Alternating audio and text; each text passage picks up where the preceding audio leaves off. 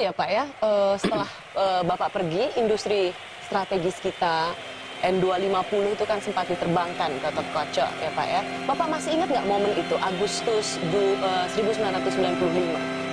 Masih ingat. Saya mau mengajak uh, keluarga Indonesia untuk menyaksikan kenangan 15 tahun yang lalu di mana kebanggaan Indonesia bisa menerbangkan pesawat N250 Gatot Kaca.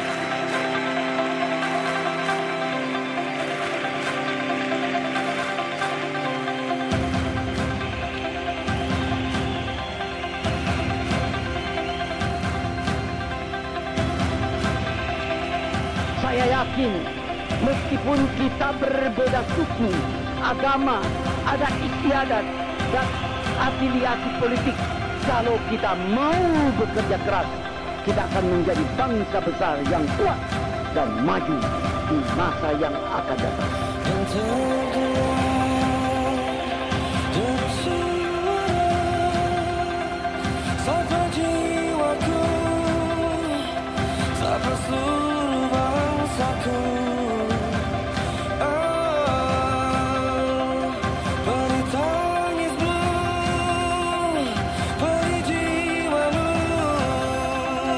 Sorcisa.